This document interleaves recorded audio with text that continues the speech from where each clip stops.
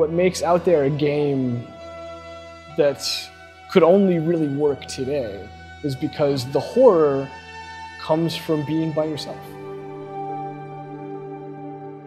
You know, if I try to put out there in, in, a, in an elevator pitch, it's basically, um, you know, Oregon Trail with loneliness instead of dysentery, right? Like that's pretty much out there in a thing. For me, that aspect of, of loneliness um, is something that, that really appealed. You don't see that very often in games. Very first, very first time I tried it at Eurogamer, I got in a position where I couldn't jump the ship anywhere. And Mikkel was like, how did you do that?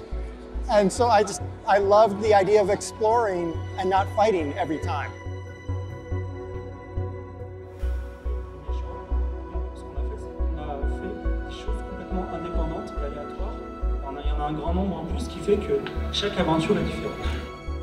Folks that read my site, a lot of them can't stand out there because it, it doesn't click with them, they don't get it.